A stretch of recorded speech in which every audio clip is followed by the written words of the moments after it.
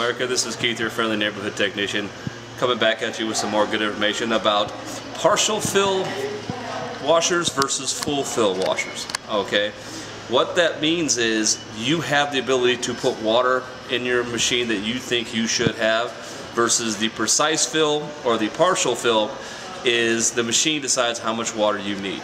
Okay, what that looks like is if you look on this machine here, I've got a small, medium, large, super, and then I have what's called a precise fill. Okay. These are anywhere from half, three quarters, little almost full, and then completely full of water. And they also have the precise fill, which then determines how much water you want to put in it. Okay. So this is basically what you grew up with as kids and what your parents had, pretty much maximum water, throw it in, and go. Now, the thing which is nice about this is when you decide how much water you want, you can use too much detergent. Now, if you go with the precise fill here on this one, okay, you have to make sure you use the HE detergent because you're going to get maybe maybe a little more than a quarter to a third full of water for the clothes you put in there.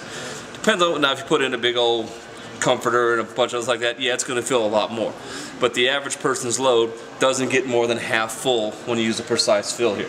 But when you use the selection sizes, this tells the machine how much water to put in. It's either going to be, you know, 20, 40, 60, or 80% full of water.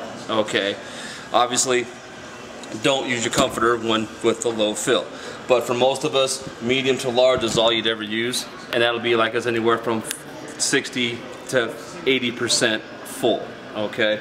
Now over here we have a machine that has no water slides whatsoever. This is a partial fill, a precise fill, a perfect fill. Depends on the manufacturer's terminology of what they want to call it. What it does, excuse me, is you put your clothes in and then it actually weighs the clothes in the machine. And how much the clothes weigh determines how much water it's going to put in. Now, the more clothes you put in, the heavier the load, the more water it will put in to cover. But it's never going to float your clothes like the the uh, full fills will. There will the clothes will be a lot closer together. And the reason the clothes are closer together is when they agitate, the clothes themselves actually rub up against each other doing the cleaning. Whereas in your in your uh, full fill, they have an agitator. This actually, so the clothes will actually float with water between them, and the agitator is what actually beats the clothes clean. So yes, no, you're not getting as much water in this, and the clothes themselves are rubbing against each other, cleaning them, which is a much more delicate way of cleaning the clothes. Doesn't get your clothes abused, and it basically allows your clothes to last longer. This is what this all is going to, is going to be the precise fills. Is going to be the you know perfect fill, whatever you want to call it but this is where it's going because we as a as a society use entirely too much water and too much soap on things that we don't really need that much. Now, if you want to find out if you're using too much soap, take your wash, get it done, okay? Take it in the dryer, dry it.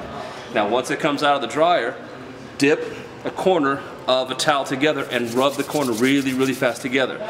If you start seeing bubbles and suds, you're using entirely too much soap on your machine. Okay, so you want to start cutting down on that. That's a real easy way to tell if you're actually using too much soap.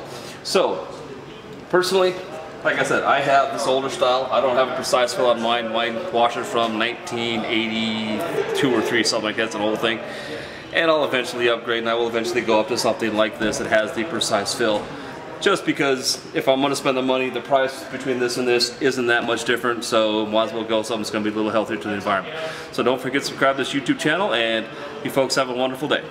Thank you very much.